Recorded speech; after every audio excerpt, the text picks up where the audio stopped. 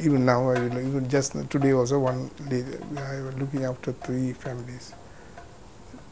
Two husbands died when they are young, and the three kids, and also we assist them. The one chap is a skin disease, we want to the hospital, or any financial assistance we arrange for Sinda or school, we take them to the hospital for other thing.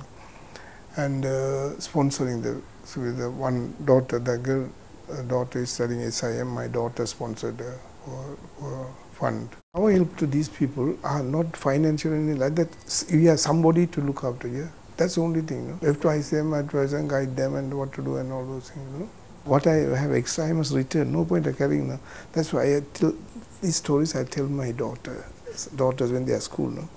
So I told the youngest daughter. I told them, if you have two things, two things, one is not you, you don't need it. The second thing you must give to somebody else.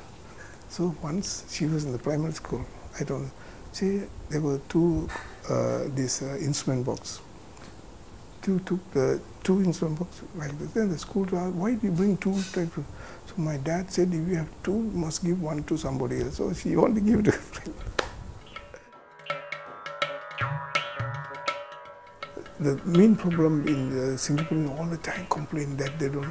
But if you lived, you have lived in UK, in uh, Sri Lanka and you have lived in UK, you know the difference. You know? At my daughter, scholar. She's the first honorary, first scholar in medicine for, from the, uh, the Ministry of Defense. How do they get this? All the meritocracy, you know. You must have a faith in the organization, that's the institute, that is a government, no? And compared to other countries, this is a very, very clean, clean government, no?